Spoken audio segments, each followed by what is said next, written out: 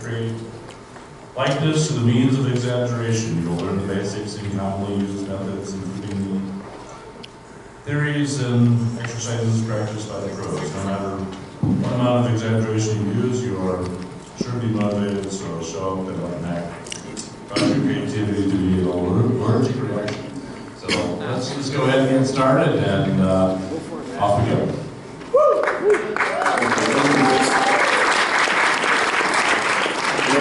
Uh, hear me? Pretty clear? Back there? You can hear? All right, I'll try to I'll try to be clear as I can. Kind of getting over a cold, so I apologize. And thank you for being patient with us. And we had some typical uh, uh, technical difficulties, so thank you for your patience. Um, and uh, I want to say thank you to the board members. I know they do a lot of work behind the scenes to put these things on. I was just talking to a few guys outside here that uh, we really don't get to hear these basics very often. I mean, we're not going to hear these things from our clients.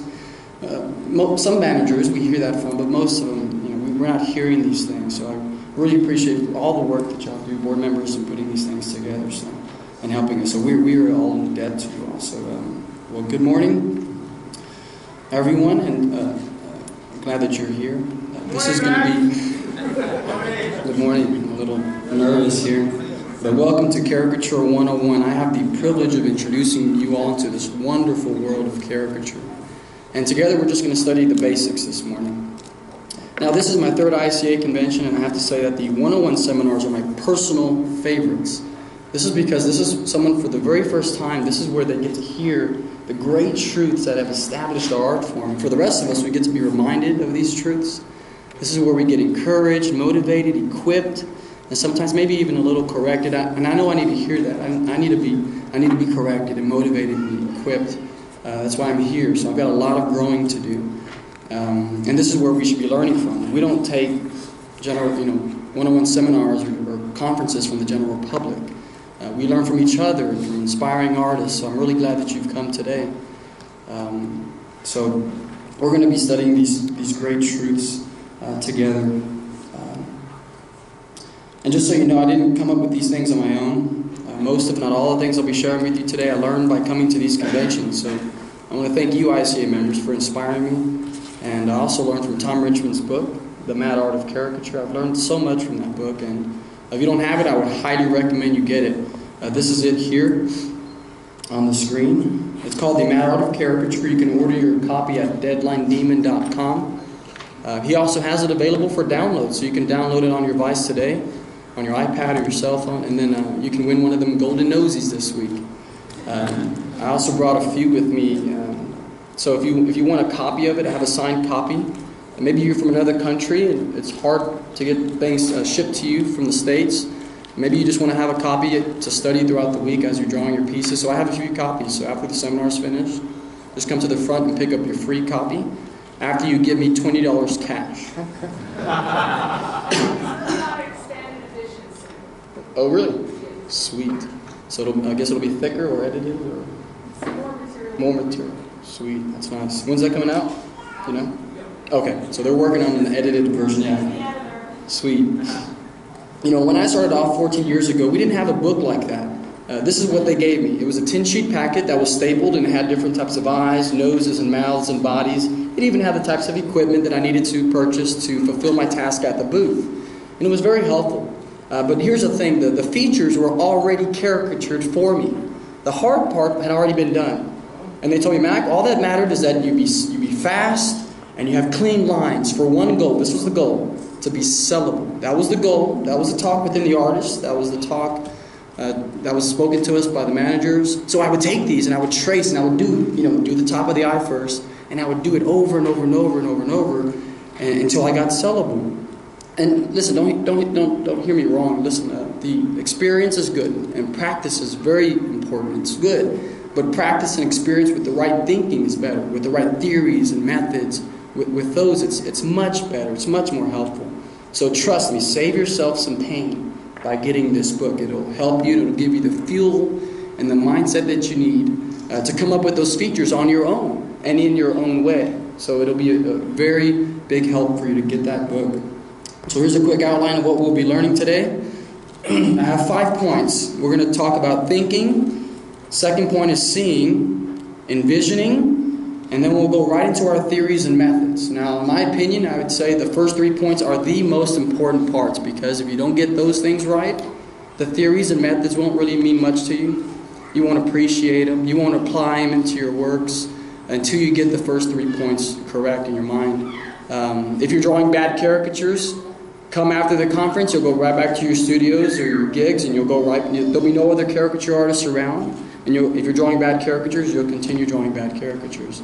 So, uh, uh, so pay attention to the first three points. If you leave after th- the third point, I'd be happy because you'd be leaving with the most important, essential parts of these things. And then we'll close with uh, an exercise. It's really fun. I've been doing it for like two years I, on a daily basis. It's, it's really helped me revolutionize how I draw. And I've only shared this, this exercise with, with a few people back at home. Uh, so I'll share it with you, and I hope it kind of will engage in that creative part in your mind. It'll help you. It's really brought some organic shapes and things in my mind as I'm drawing. So this is an exercise, um, and I'll share it with you. Uh, so if you have any questions, I'm going to try to leave some time at the end. Uh, but if you really have to ask a question, just raise your hand, and um, I'll get to you. So if you have any questions, save them to the end, please. Um, one last thing. There's also going to be some caricatures throughout this PowerPoint. They're not mine, they're from other artists that I think have captured a particular point best in their piece. So, with their permission, I'll be presenting their works to you today. So, I, I thank you if you've allowed me to share your works. I, I wanted to say thank you. And um, so, let's get started. Have you ever said to yourself, now these are artists that I really admire, Uh, but have you ever said to yourself, man, I really wish I could draw like that artist? You ever said that? In fact, I used to take Jan Op De Beeck's characters and I would trace them. I, I remember being in a hotel, and I'm not sure which one, I would trace them. And, uh, and, and over and over and over and over. But it, it might be more beneficial. Instead of saying, I wish we could, we could draw like someone, it may be more beneficial for us if we said something like this Man, I really wish I could think like that artist. See, I read a statement like that on Facebook about a year ago. I just don't know who said it, but they had the they had it right. They had the right mindset. Instead of trying to draw like someone, we should strive to find out what they're thinking. You see, successful caricatures stem from right thinking. You see, right thinking always comes before it precedes a successful or good caricature. So the right thinking is most important.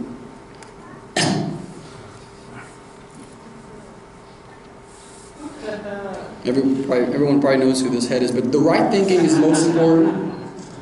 And I'm not going to pretend I know what all these artists are thinking as they construct their caricatures, because I don't. I, I haven't interviewed them. I, I, I don't know what, what um, Op De Beeck's thinking. I, I'm just going to pre- be presenting some of the common basic principles that are being used today. So hear me right. I'm not saying I know what all they're thinking, and I'm going to share with you what they're thinking, because I don't. But I'm just going to be sharing some basic principles. But the concept is thinking. Okay, don't let's not try to try to draw like someone. Let's try to think like them, and then we can apply our own level of exaggerations, our own creativity, and apply our brilliant minds into our own caricatures and use our own um, imagination. a successful caricature. Now I'm going to assume we all want to have a successful caricature, right? Yeah. Is that right? Now, I'm not talking about having a thick wallet of money. I'm not talking about having your, your, your website at the top of the Google search engine. I'm talking about a successful caricature, your piece, okay? Whether you're doing it part time as a hobby or full time, I'm sure I'm, I'm going to assume we all want to have a successful caricature. But what does that exactly mean?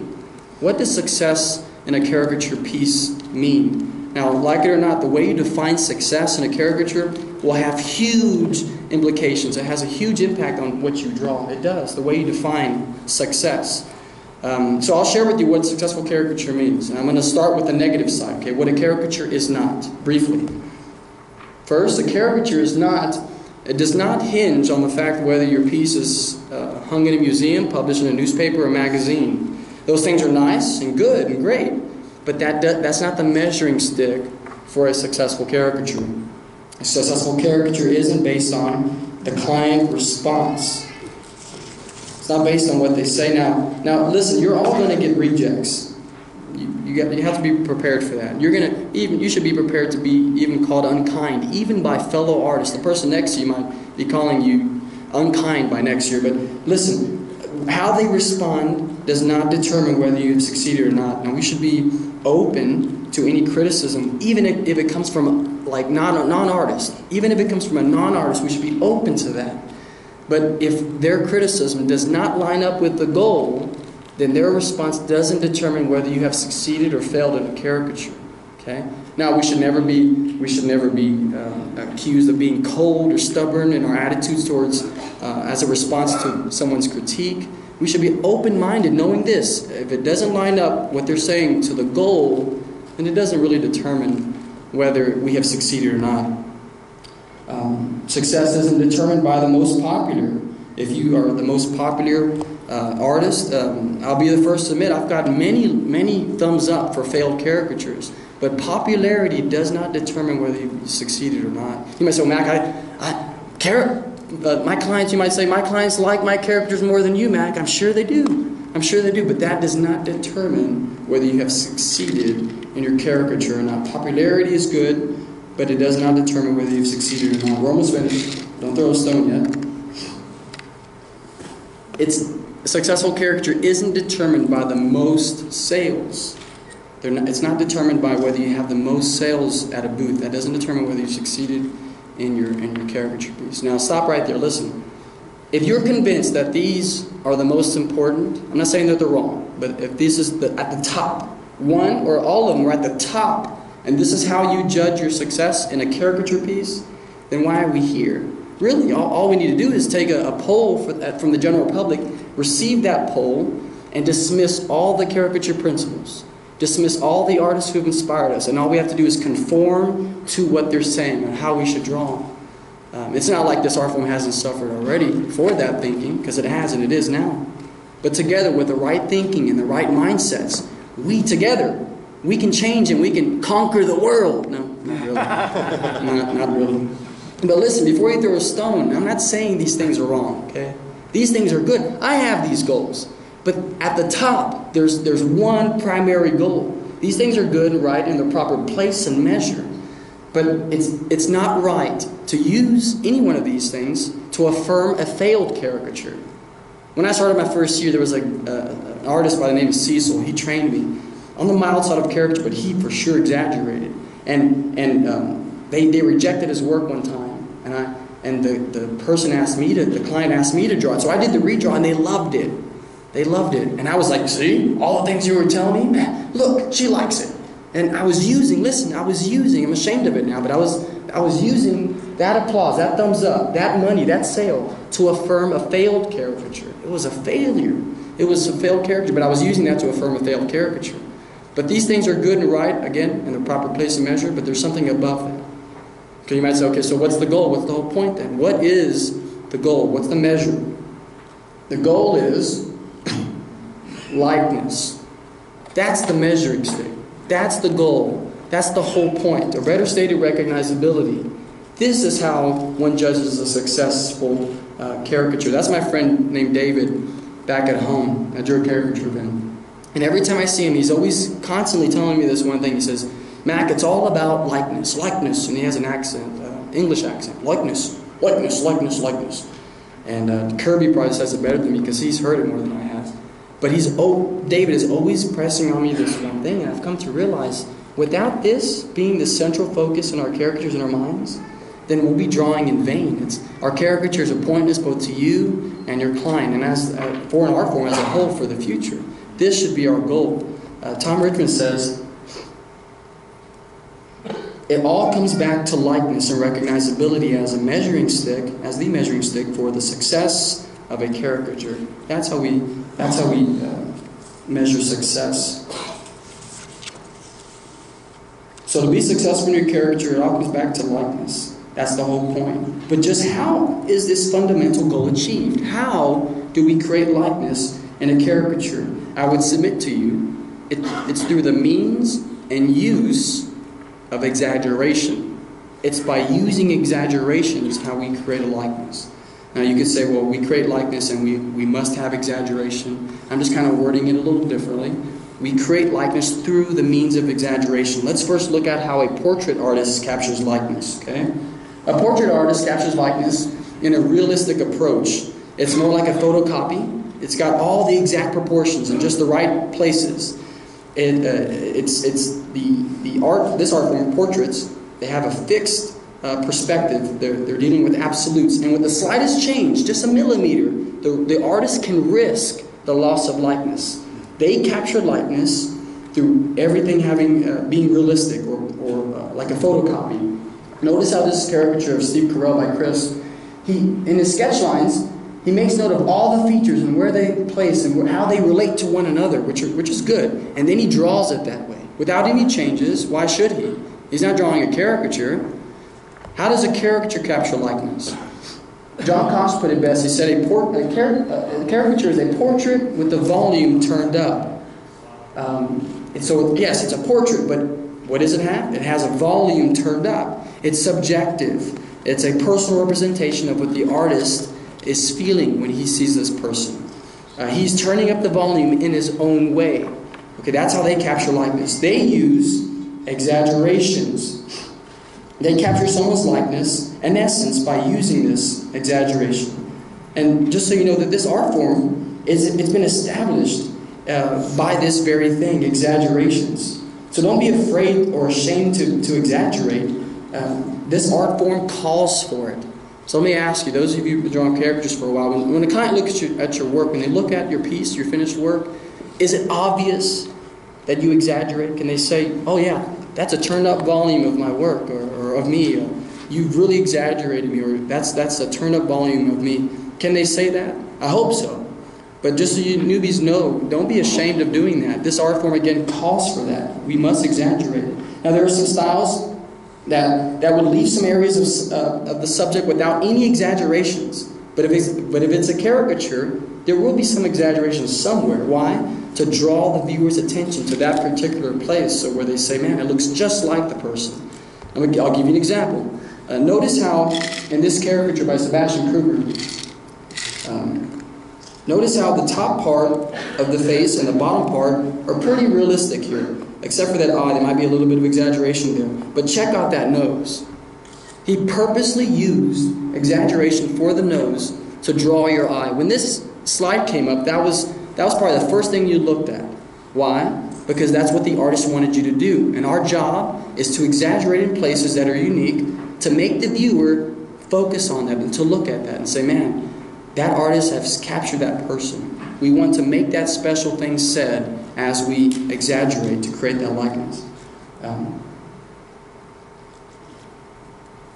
so likeness is achieved through the means of exaggeration, not simply, not, and not simply drawing everything exactly how you see them as a portrait artist would.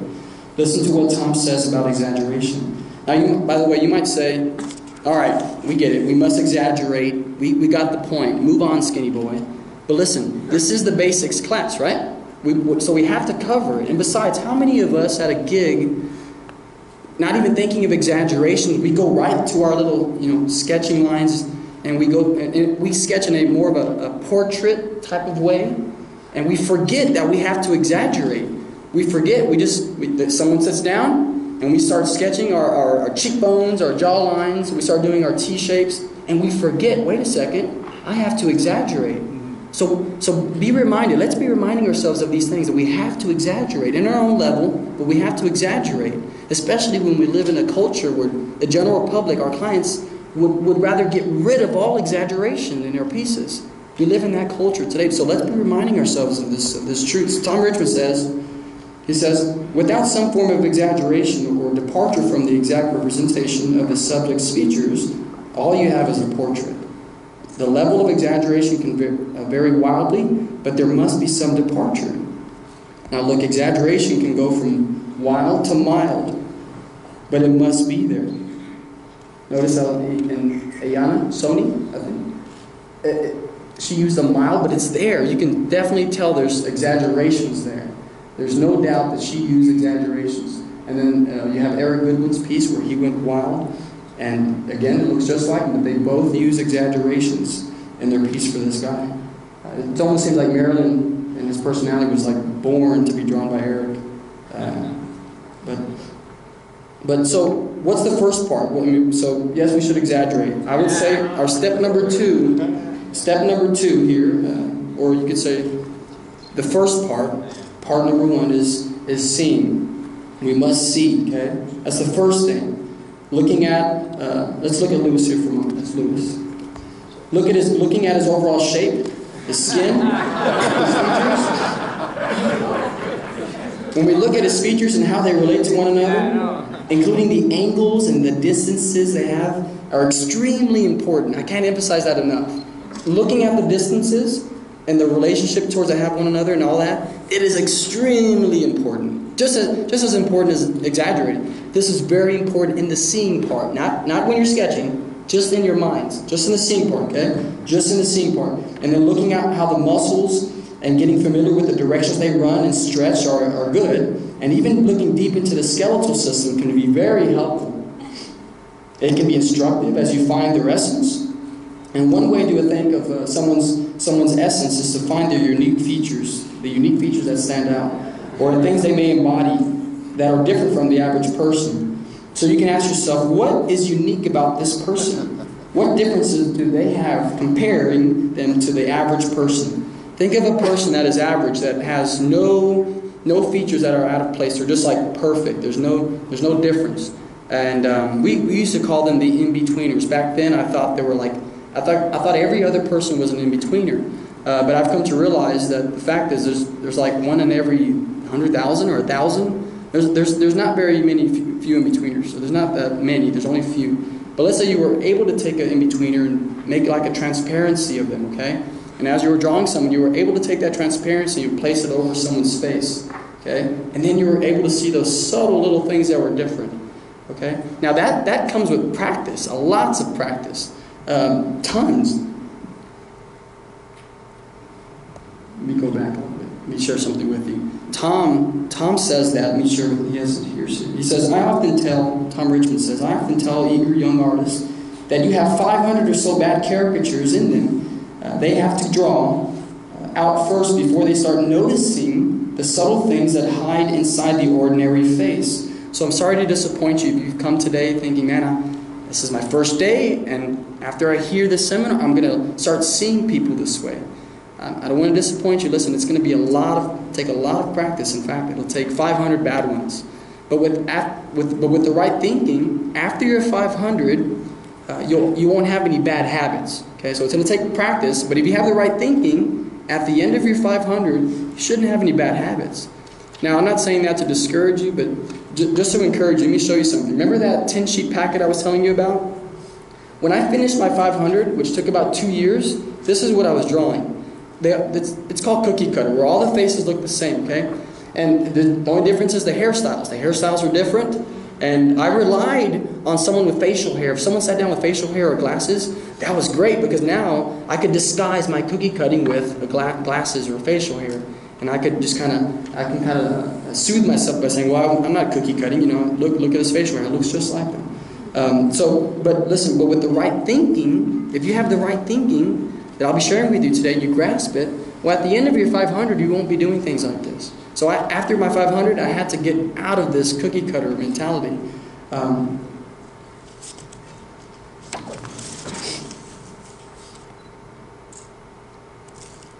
here's an idea that will help you with the scene part. Imagine if you were a bank teller, okay, at a bank. This is this will help you with the scene part. And this guy rob, came in the bank to rob, rob it, okay? And you only had a few glances at him, okay? You were so busy putting the money in his bag. Okay, so when the police come and you describe this guy to him, what are you going to say? You're probably going to say, well, he had a Batman mask, rosy cheeks, blue eyes. You might say um, a Superman chested guy, skinny legs, uh, big arms. You might say something like that. But you're not going to talk about his mole that he has on the bottom of his lip. You're not going to say something like that because it's too detailed, okay? Uh, or maybe this guy robs the bank. okay? You only had a few glances. Remember, you were busy putting the money in his bag. You tell the police, what are you going to say? Oh, big bearded man, okay? He had bacon earrings or something. Um, big, big guy, bearded, dark skin, and that's about it, okay? Those are the main things, okay? Here's how you can apply that to your caricatures. When you, when you look at someone, try to look for a few seconds and then turn your head, even for a second. Okay, and think about what area or feature Maybe it was the whole shape of the head. Think about him, maybe his voice, his hair, someone, her hair, and think about what, what do you remember? Is it the beard? Is it the largeness of the person? And if, if you can remember that particular point, that part of the person, then you've captured their essence. That's the part that you want to emphasize or exaggerate on, okay? So if, if you don't remember the mole or the ears, then consider that a common thing. It's not unique. You could either take it out altogether or just leave it as it is. Okay, don't exaggerate it. Okay, but the other parts that are you would that you remember glasses, big nose, whatever. Those are the parts that you want to exaggerate on. So if you got a gig, just glance at them. Just do a glance like that, um, and and that and just try to remember try to remember what you what you what you saw. Um, envisioning. Let's go into our envisioning. Um, let's see.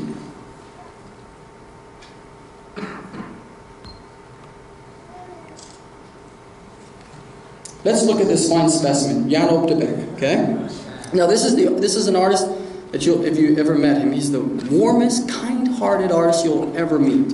Um, so let's look. Let's do the scene part, uh, and then let's envision. Okay. Let's do it together. What, I'm going to be drawing on him for a little bit. This is what I see. This is not something I would sketch. I'm just kind of sharing with you what I see. When I first look at him, I see a sagging part. I mean, he's just sagging. It might just be gravity, but there's just sagging going on. I'll, I'll express why. Uh, see his eyelids? They're going in that direction. Okay? You have this area and this area, it's, it's going down. You even have this area right next to his cheeks. They're going down this way.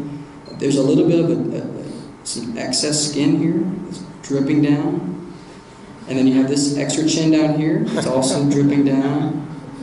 Um, I, mean, I think he's even smiling, but because he's smirking, it still looks like it's going this way. See?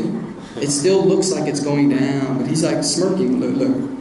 Well, see, it looks like he's kind of smirking, but it's still going down. It's because of the skin. It's just how he looks, okay? That's the feel. I mean, you can have different feelings, but that's what I feel. So, what do we do with all this information? We could also do the T shape. We could do that and go, okay, well, what's what, what, about this T shape is here? What, what shape does it make? Uh, we can put our lines here in our minds and say, okay, where are the distances? Yeah, he's an oval, oval shape here. This is the angle of his face. This is his neck. You can you can start noticing how close his eyes are together. You can start doing all these things. So, but what are we to do with all this information that we've gathered in our mind? What are we to do with it?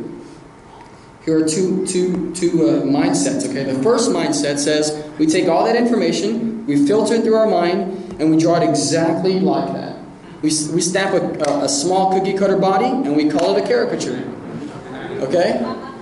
That's one mindset. That's the wrong mindset. Don't do that. so we don't do that. Um, now, does it resemble Jan? Sure. But in the context of caricature, it doesn't. It must have exaggeration. And typically, this is what gets the, the comment oh, that has great likeness. I like your artwork because you focus on likeness. This is a portrait, and all they've done is just put a small body on it and call it a, cookie, a caricature. But it's not. But what we should be doing is taking all that information, filtering it through our mind, and we should be envisioning the things we've talked about. This is Nate Capp's caricature of him.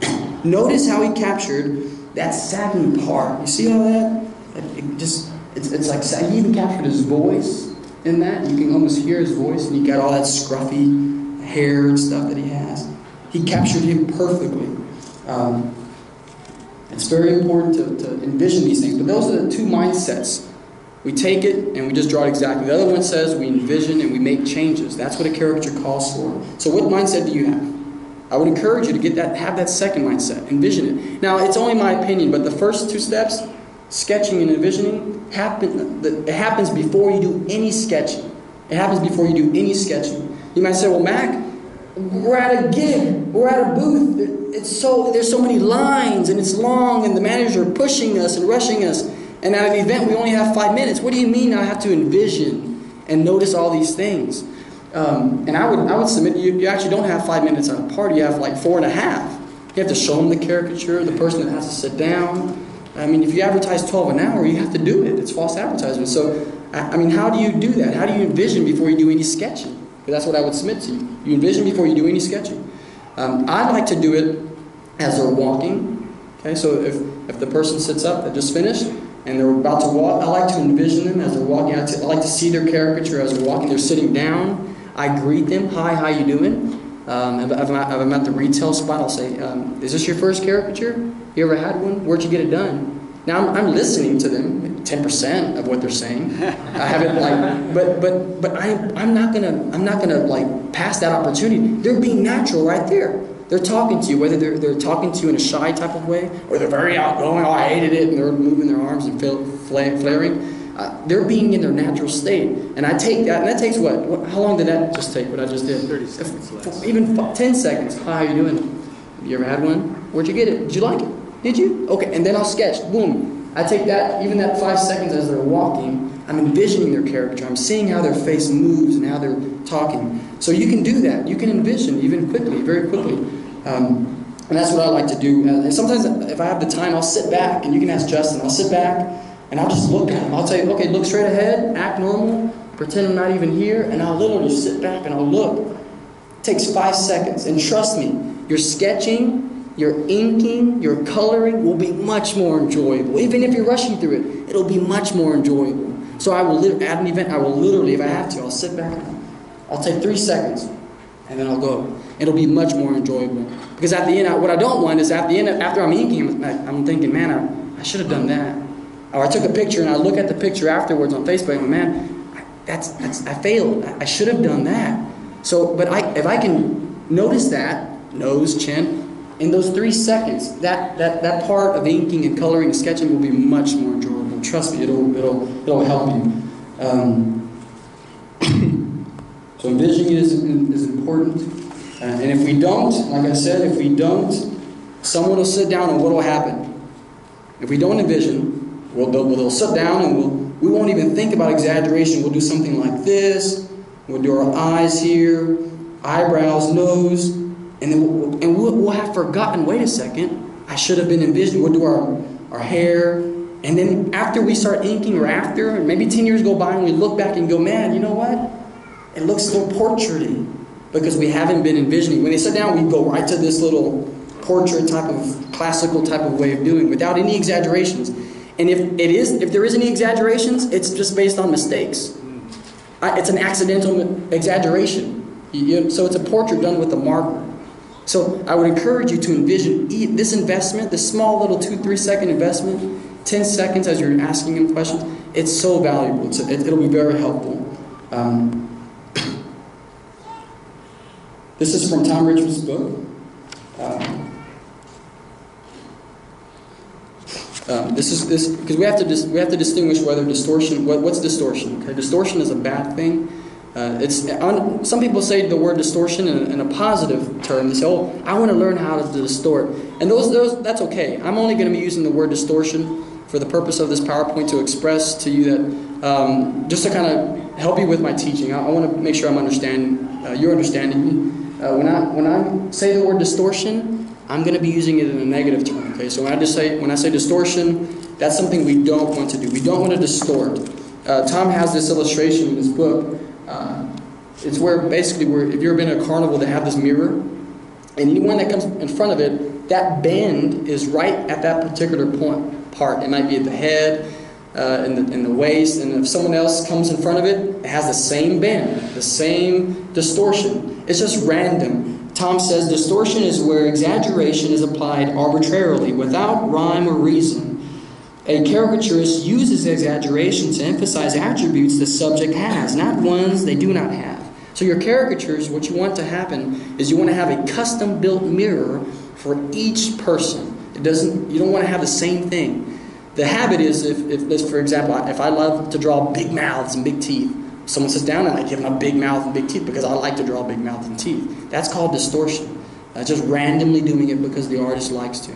But remember, when, the, when our subject sits down, we want to envision a mirror for them, a, a, a custom built mirror for them, not just a random, just because you feel like drawing. So distortion is not good. Here's some examples.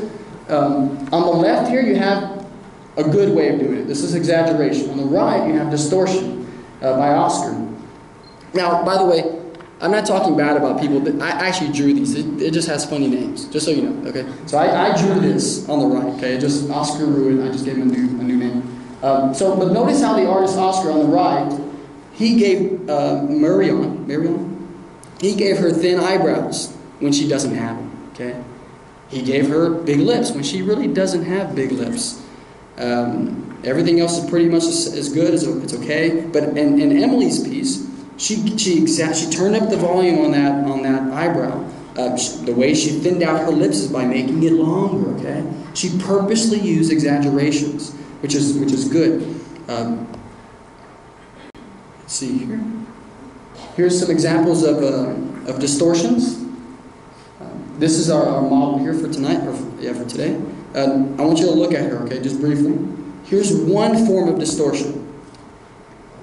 Okay, where there's a zigzag. See that? But she doesn't really have a zigzag face. In fact, it made her look. This artist it made her look kind of thinner. Okay, uh, this might have worked for someone who has angles in their cheekbones are real sharp, but it doesn't really work or fit for her. Jessica Dupree said that this model looked like a what, what, insect was that? Jessica, are you here? Caterpillar. Looks like a caterpillar. Okay, so but this year just kind of made her look skinnier. Just the artist was just randomly doing stuff. That's a distortion. Now I'm going to give you another slide that'll come behind this one. Okay, um, I want to challenge you. There's a lot of. I'm going to show you another caricature. The next caricature has a lot of good stuff in it, in a mild type of way. But there's one distortion, and I want you to look at it and see if you can find it. Okay, I'll give you a few seconds. There's a lot of good stuff in it, okay? But there's one major glaring distortion, and it's on the other end of distortion, okay? Can you can you can you picture it? Can you see it? Where? In the neck. In the neck. That's right. Right here. See, there's one side where they distort randomly, and I think we often recognize it, right? Oh, that, that's a distortion. I don't want to be like that. But then there's another side, on this side, the same distortion happens. And this distortion is hidden and camouflaged by artists by, that say, I'm the nice artist. I'm trying to be nice. Or I, I'm just kind. I'm not mean like you. Now remember, this is this is distortion is random is doing something that the that the, the, the person doesn't really have. Now you can exaggerate this part mildly, but to literally do something way different, it's like making someone pretty ugly. Okay, you, you have a pretty model, but then you make that pretty model very very ugly. That's distortion. But do we recognize when we take someone ugly, we make them pretty, we make them thinner? What we're doing is also the same error. It's the same error. It's the same error. So look, look, I want to show you. Look, one chin, two chin. Because this is unique. This isn't just like, well, you could have picked something else. You could have put a scarf over it. Uh, But look, this is something very unique about this person. So two two chins. You have three, four. Look over here. Five, six, and maybe seven. You see that one? Do you see it? I'll take up the lines again. I'm not making fun. I just look, look. There's like seven. Anyways, but look, we should never be drawing. I, I'm going to draw to offend someone. That that's not our motivation. Our motivation is what's the goal? Likeness. Remember, the goal is likeness. Likeness calls for the double, triple, seven chins to be drawn. That's what likeness calls for. Now, how you handle customer service and how you that's another seminar. I'm talking about just being successful. Okay, successful. And listen, if and I, I guarantee, I'm I'm pretty sure we're all in agreement. We all we all want to have great likeness, right? Likeness calls. Listen, likeness calls for you to draw those chins. It does. It, it likeness calls for that. So if likeness is more important, if it's at the top, listen, if it's at the top, and you say, well, I'm not going to draw those chins because I don't want to lose a sale. Um, I don't want to be called mean. Well, then you, you, you, you've gone back to those other goals that we mentioned.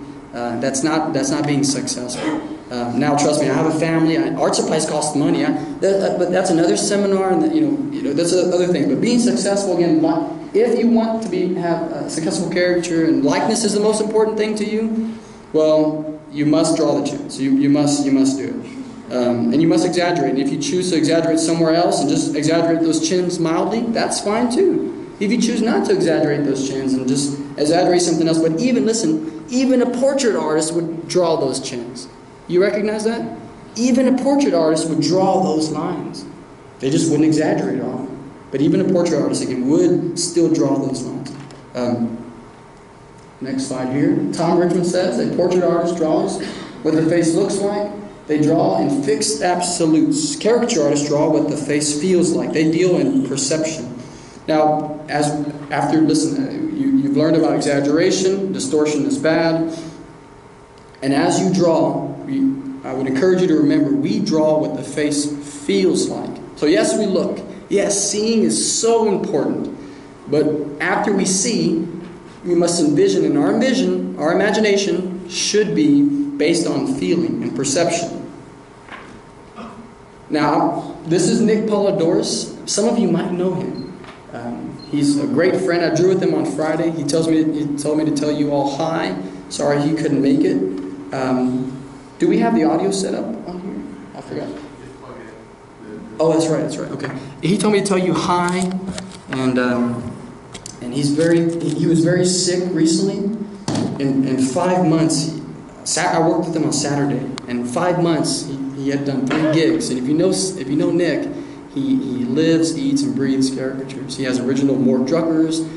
He lives alone in an apartment. He just studies those Mort Druckers and he goes to gigs. And uh, no business cards, no website. He's just people search for him and they hire him anyway. So I, I, I was working with them Saturday, and we this might have some bad quality, but this this expresses the feeling part. Because when when you get to hey, when you get to teaching people and say hey, you, you have to draw what you feel. It's so hard to teach. Uh, so, but this little illustration uh, is something he heard back in the first. I think it was in San Antonio. He heard this at the very first ISCA convention. He was in CN. Uh, and he heard this from some Japanese. And I just didn't want to make all the funny noises. I feel embarrassed. But he's going to do it for you. And um, it really helped me. You might not understand it. I hope you do. But it, it'll help express that point about feeling. We draw what we feel. And we also use voice. Um, so let me, let, me, let, me, let me let him explain. I want to say it was about 1997. And, uh, there's a Japanese artist in there, and were trying to explain to the, least when we were watching them, they would be doing all this kind of stuff, and we'd be trying to figure out what are they thinking when do this. And we finally got one girl aside, and she would she would use her hands, but it couldn't communicate. And we said, well, what about this girl here? Had a face that kind of came to a point. She go, she like woo, like woo, and, and it immediately conveyed what that face did, and just a hand motion. And I said, one I didn't understand was I said, what about me? What am I? And she looked at me, she went, oh, you, you,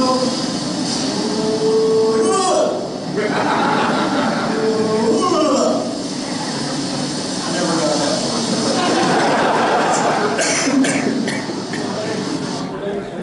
Did y'all get that? Did y'all get that? Yeah. Okay. When I heard that, I was like, "That's that's brilliant. I, I can't I can't replicate that. It's just brilliant." And but I hope he understood what he was saying. Yeah. Um, but but I, I can tell you, he said he didn't get it. His forehead does that, right? And then when it comes to, to his eyes and his eyebrows, they all it's all together. So when the artist looks at his face, when he, when your eyes come down to his eyes, he has all the skin stuff going in his mouth. It's real close to his nose. There's a lot of action going on in this area. So that's why that artist was going, "Zoom," right? The chin is kind of sharp, and he has all these angles in his cheekbones. So that's why the artist was going, "Zoom," right? Um, so, anyways, but, so that's when we look at someone. If it helps you, do it. Just imagine a voice, or not a voice, but imagine a noise, right? So you're looking at someone, you're studying them, you're taking pictures of them, you're looking at different angles, and you see all these things going on. Try to make that voice, and when you're sketching, Make those not, not outwardly or verbally. People think you're crazy, but do it inside, internally. When you're sketching, think of those noises. I like to do that sometimes. Uh, recently, I started doing it. If, if some some guys, uh, say for example, someone's large and they sit in front of me, I try to make a noise in, in, inside. Right? I think of a noise, and for a large guy, I would do something like. Okay. Okay. I don't go hi. Nice to meet you. But but I think of that. So when I'm sketching, guess what I'm doing? Uh, in, inside, I'm going. The nose, I go. The mouth, I'm going. When I get to the chins, I'm thinking whoom. I'm thinking big, I'm thinking large. I'm, I'm trying to get inside this person. I'm trying to think of this celebrity.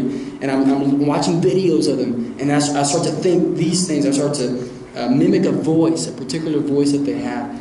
I was speaking to Marcus a few days ago, yesterday, yes, and he says he likes to kind of embody the subject, kind of. Um, he doesn't like reenact uh, the celebrity scene or anything, but he'll like, he likes to embody them. Um, am I saying that right, Marcus? I, I'm empathetic to modeling and drawing, so they're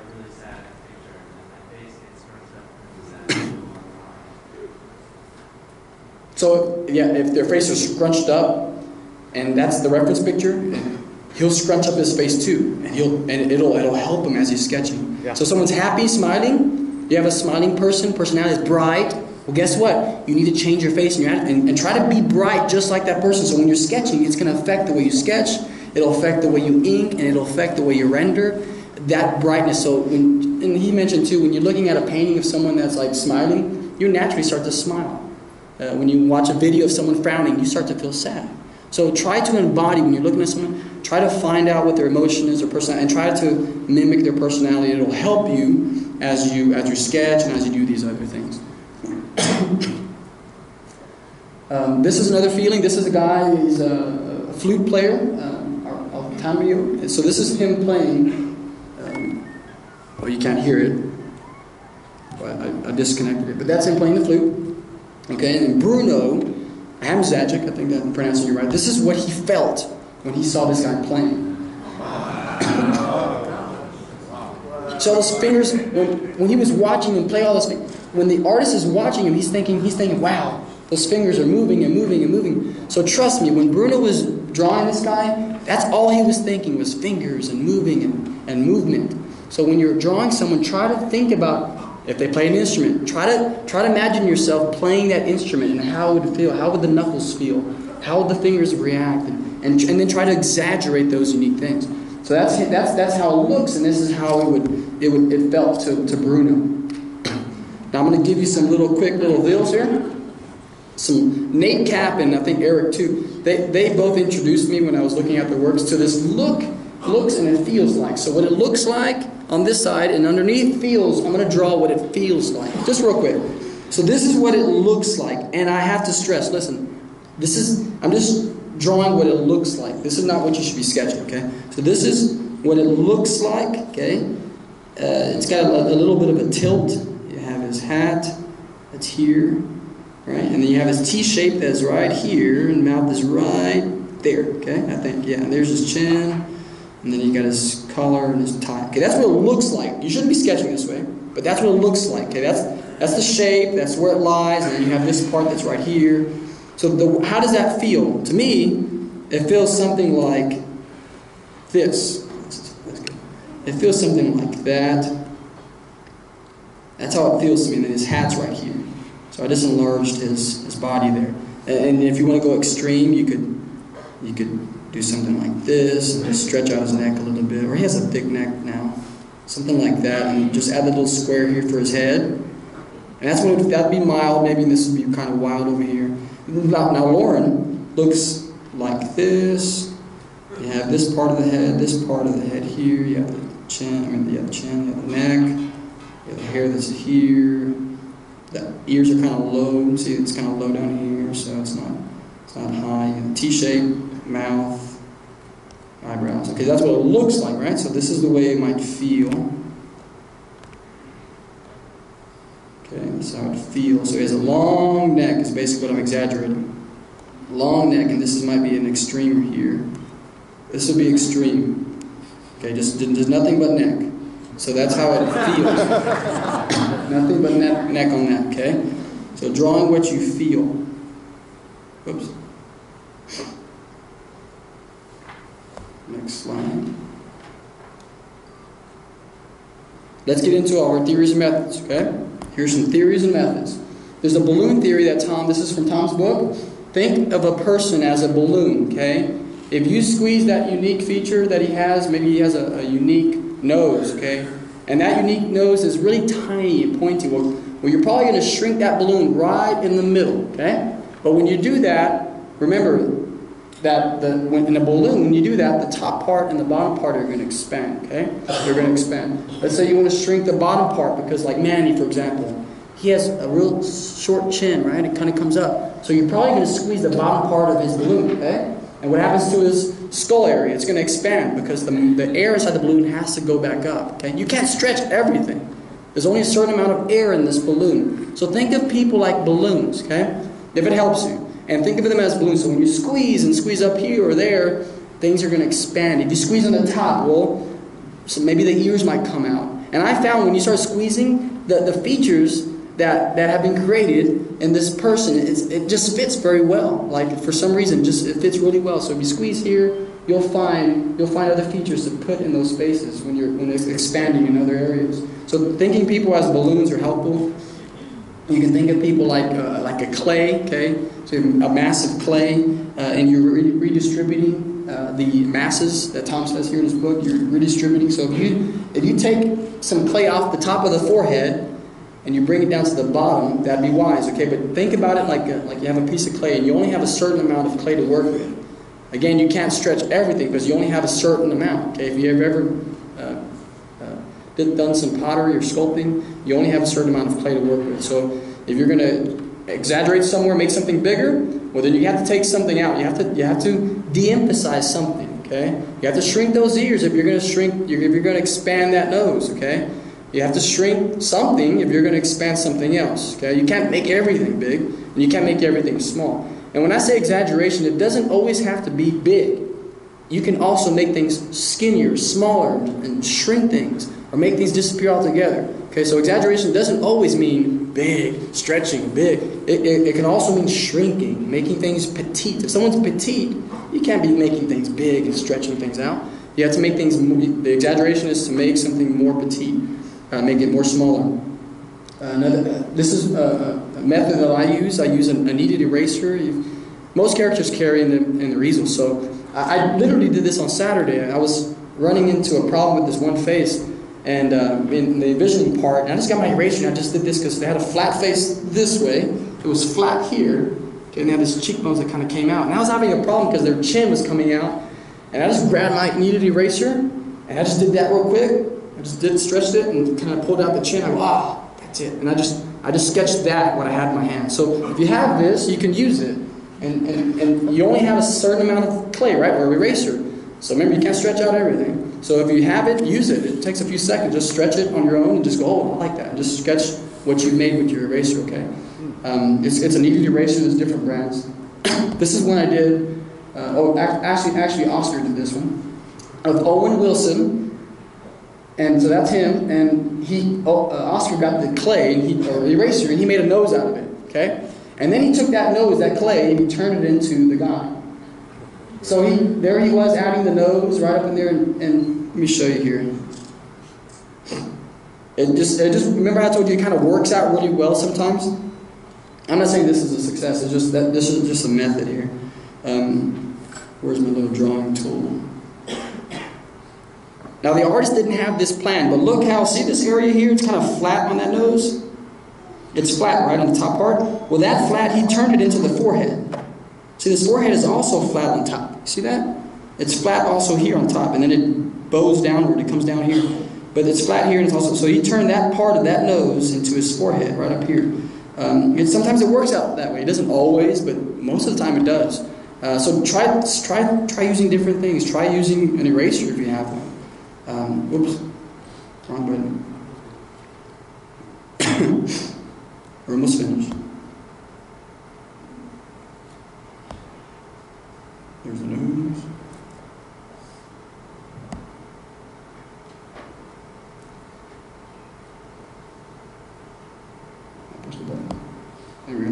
Um, this artist also used, uh, he was having problems with the top part of the mouth for this celebrity. And so he got his eraser and he, he used it to kind of sculpt the top part of the uh, mouth there. And then he just sketched it. So do you see the difference? See how it worked?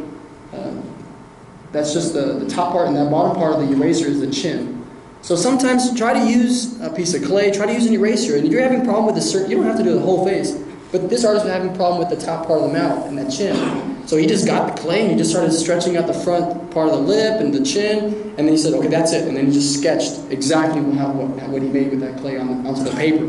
So if you're having, if you're drawing this week, you have a problem with a certain feature, get your clay out, stretch it, look at it, and go, ah, that, that, that's that's what I was envisioning. I was just having a hard time, and that clay will help you um, put put into your hands what you were envisioning. Um, I use clay all the time, or not clay, but eraser. So what we're doing with, the, with our unique features, we're exaggerating them, and what happens with the common features, they're going down, okay? So when you exaggerate, you exaggerate the unique features, and when you do that, um, the, the effect is that the common features are going to be lessened, even to the point of dismissal, where they're not drawn at all. Okay? Have you ever drawn a caricature without a nose or a mouth or an ear or a neck or some have you ever taken away a feature? I would encourage you to do so. You should. Because it, it can come to that point where you're you're exaggerating that some of the features that are common, they, they go down so much that you have to not draw them because they don't fit. They want they won't fit. Uh, let's look at Al Hirschfeld's stuff and how he, he I'm going to show you a few, just one. He eliminated this feature on this one here. Note it. Try to find out what feature he eliminated. Which one is it? No. The ears. The ears. And, and you got, he also eliminated a lot of other things, but the main thing were the ears. Yes, he eliminated uh, even the black. See the black part of his shirt right here? He took that out. He took out the, the black buttons. He just made little silhouettes. Why? Why would he do such a thing? Why would he take away ears? The bags under his eyes, the wrinkles. Why would he do all those things? Why would he eliminate all those features? Why? Because he's trying to get you, the viewer, to look at the important things. He's exaggerating. And he wants you to look at the eyebrows, the mascara, whatever he has in his eye. He has take eyelashes. The, the, the, the mustache. He doesn't want your eye to get caught up in that other black part. He just took it out. Have you ever taken out some features?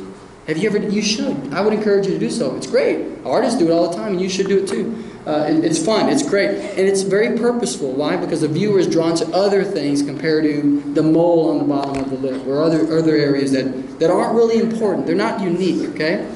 Here's this one by Tom Richmond. Guess what feature he left out? the whole face.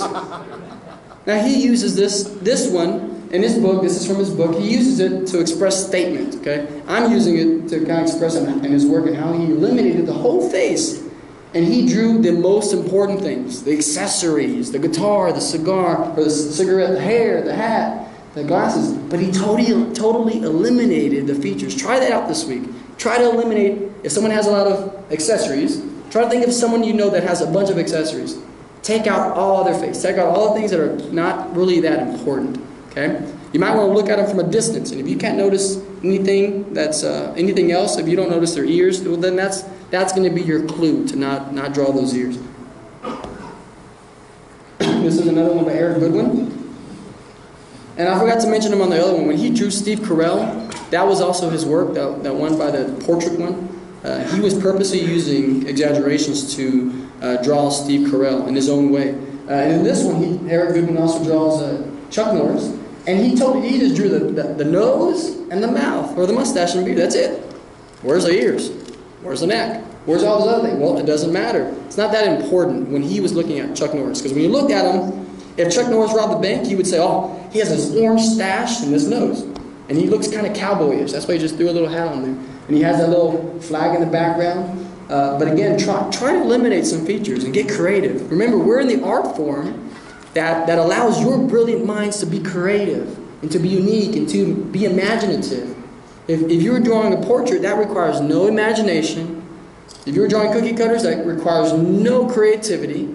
Just all you need is eye-hand coordination. You just got to draw exactly what you see. But this, we're again, we're in the art field where you're you're free to do that. You're free to be imaginative, and you should. You should use that. Um, and, and this is what Eric was doing. He was he was using his creativity and using those principles we talked about, and he eliminated a lot of features. You can also, if you're not too excited about eliminating them, you can also combine features together.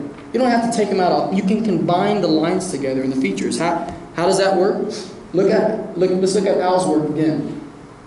Look on the one on the left. You see the eyes, and then he also takes that line from the eyes and brings it down to the, the cheek lines. And it, it, on the right one, it also on the right part of that one, it also he also brings that same line that goes up to the eye. He brings it down to the mouth.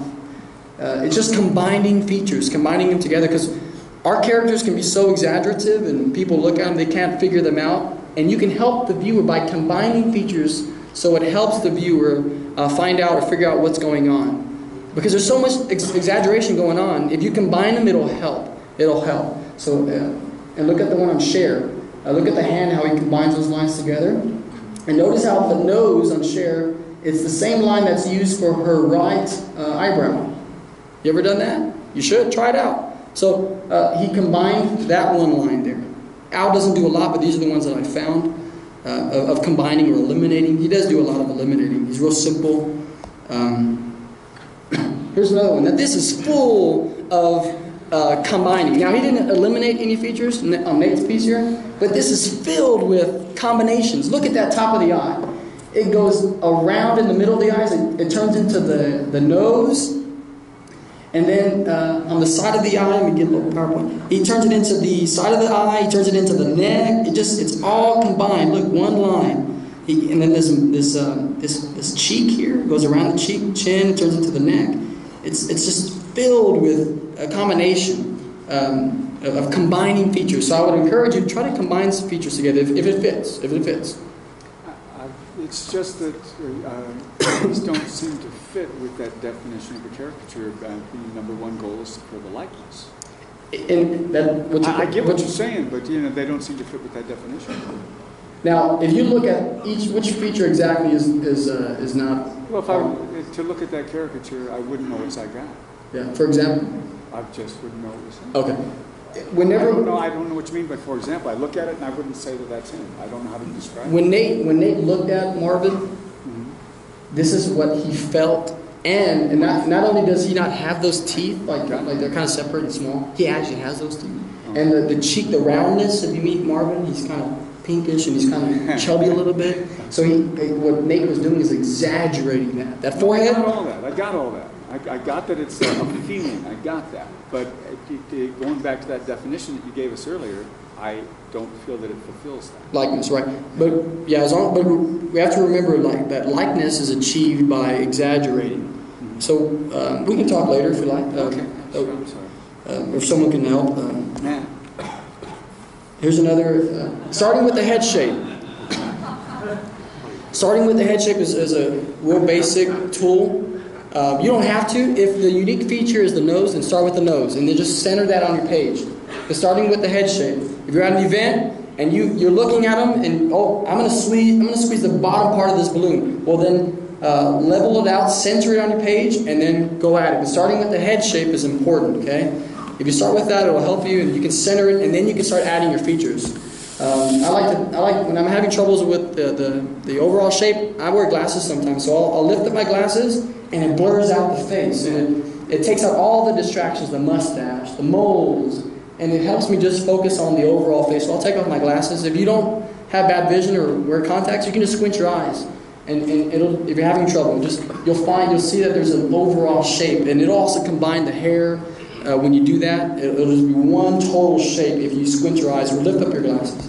So I do that sometimes.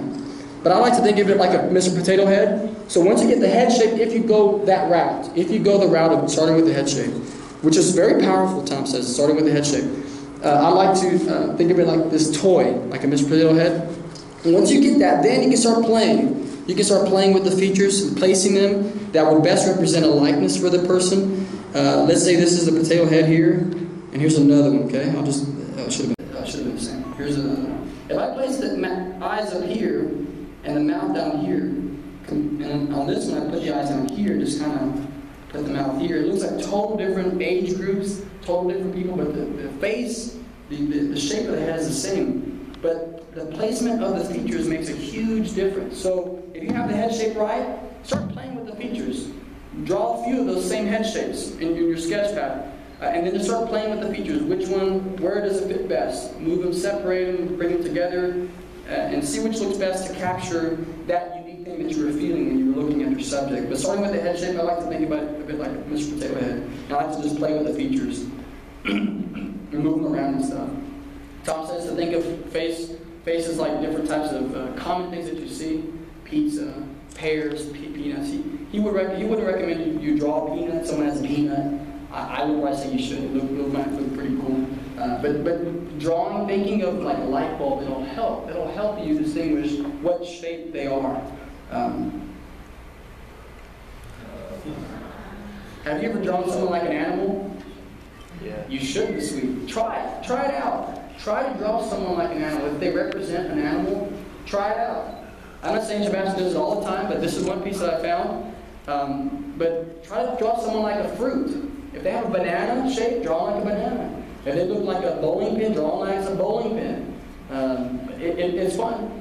Uh, and if, if you not, you're gonna, if you don't want to, then just draw the shape of a banana, and then just add the features, okay? It, it'd be fun, but give it a try. Draw like an animal, um, it- it's, it's fun. Artists have been doing it for a very long time. Statement is important. Some of you might remember Andy was trying to get all the gold, the golden noses to learn karate, or, or to forfeit their golden nose. And so this state, this caricature uh, really expresses that. I hope you can see, but, but adding a statement to a caricature helps. It helps the likeness. It will help bring the likeness. And it's not just about the face. So when you draw, when you draw this week, don't just think, well, I'm just going to draw faces and faces. You actually can add likeness by drawing a body. Have you realized that? You can. Add a theme, add a background, add, add these certain things. Because it adds likeness. So even though it's just a, a, small part of it, if it's just 5%, if, it, if adding bodies it will help just 5%, it'll help you. It'll help bring across what this person is um, and what, what story, that if something happens this week. Um, this is the character of Jerd by Allie. Her focus on the face was what? Very minimal. It, it looks like I mean, the face is great, it's, it's there. But where's her main focus? In the body. And that idea took what? It took a vision. So she's right. Hey, my battery might be dying. Oh. It's your heartbeat. I'm almost finished. Is it working? It's working. Okay, so Allie, she said she's probably sat back. I'm, I'm just imagining. She probably sat back. All right, just, uh, we'll just turn it off. Okay.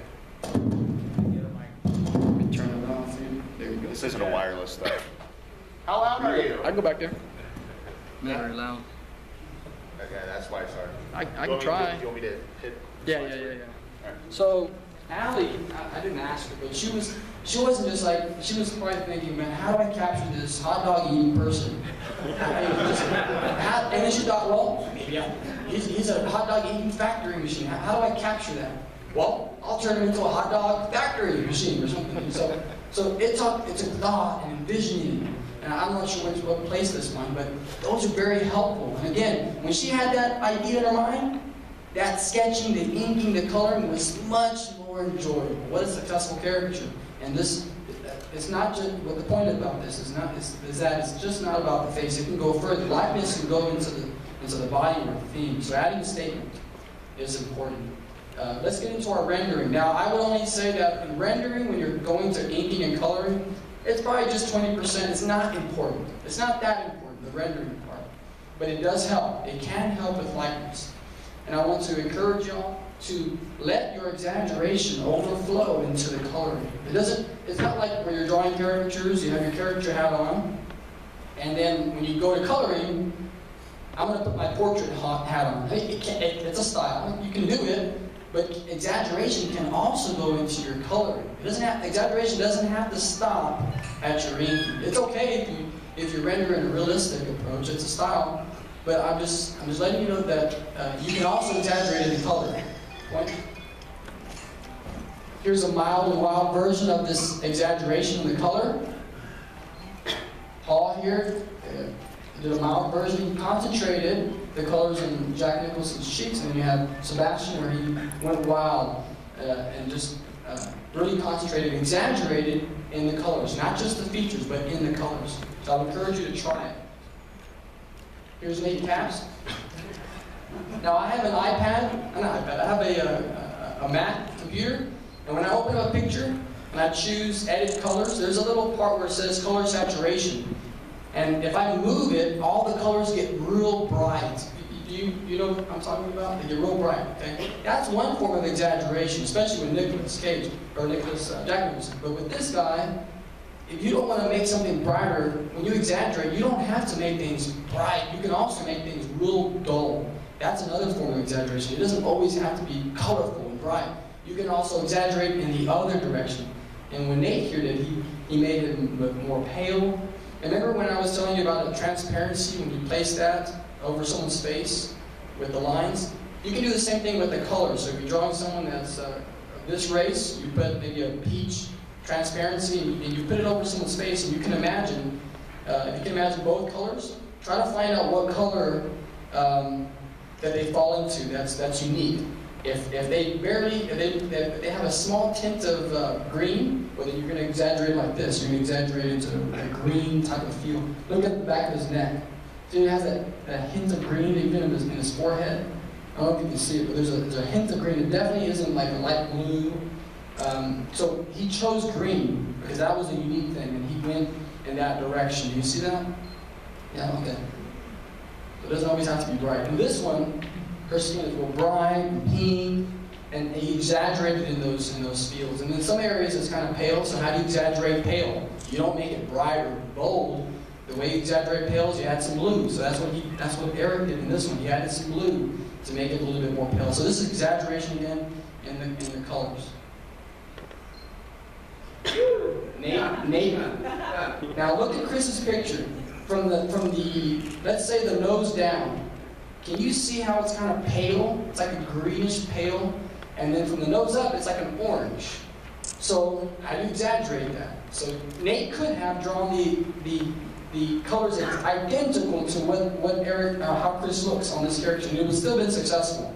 Okay, so here you are. It would have still been successful if Nate chose to replicate the exact colors and how they're placed. But to add more likeness to exaggerate it more, he wanted to exaggerate more. He exaggerated the colors in this way, and it brought more, more likeness to him. You can also exaggerate in the backgrounds. Notice how he didn't just do a cross hatch or just paint it all black or white. He actually did this flaring thing, uh, like a firecracker. And if you know Jessica, she's bright. She's real bright and uh, colorful, full of energy. So how do you exaggerate that in the background? And that's what he did. He did this spark type of feel. And what that does, again, it just adds likeness to the caricature and personality. So you can exaggerate the background. Look at this background. By Derek, by, uh. He could have just left it all white, and it would have been successful. But again, he just wanted to exaggerate a little more, and he used, it might have just helped 5%, 2%, but he wanted to add more likeness by exaggerating the backgrounds, and he did so. So try to, try to think of the backgrounds and how you can exaggerate to bring the personality out. You can exaggerate also in the backgrounds. Here's the fun exercise, we're almost finished. I will, uh, this is Leonardo da Vinci. I, I will now refrain from, uh, I will not refrain from setting among these pre- precepts a new device for consideration, which although it may appear trivial and almost ludicrous, it, it, it nevertheless, uh, is nevertheless of great utility in arousing the mind to various inventions. And that is, that if you look at any wall spotted with various things, or with a mixture of different kinds of stones, uh, if you are about to invent something, uh, some scene, you will be able to see it in a resemblance to various different landscapes adorned with mountains, rivers, rocks, trees, plains, wide valleys, and various groups of hills. You will also be able to see uh, diverse combats and figures and quick movement and strange expressions of faces and outlandish costumes and an infinite number of things which you can then reduce into separate and well-conceived forms. With such walls, uh, with such walls and blends of different stones, it comes about as it does with the sound of bells, in whose clanking you may discover every name and word you can imagine. In. Pablo Picasso said the artist is, is a receptacle for the emotions that come from all over the place, from the sky, from the earth, from the scrap of paper, from a passing shape, and from a spider's web. So the exercise is basically, um, some of you have already been doing it. Some of you maybe did this as a kid, and I would encourage you to go back to that, where you were creative, you were imaginative, and you were seeing things in the clouds, and the carpet, and the wallpaper. I do this every day. I've been doing it for two years, just looking randomly. For the first year, I was purposely doing it. Now I just do it accidentally. This morning, I was looking all over this wall, these walls and carpets, and just I was envisioning caricatures. So try to do it. So when you're out in the park, you're doing something, try to envision in your wallpaper, uh, any, in, everywhere you go, try to envision caricatures. And what that will do is help your creative mind get ideas, you will be inspired, um, your characters will be a little bit more organic, they'll be fresh. Um, when you look at that, that wooden one is my, my closet. That's how the pants, the pants were doing that. And I just saw it and I took a picture of it. That tree is the, one of our parks. We, we, we were practicing this and that's from one of our exercise. But look, looking at different beaters and just different things and textures, and just imagine, if I'm not, what I'm not saying is, if you're drawing someone, I gotta go out and look for a cloud that looks like them. You just do this as an exercise, okay?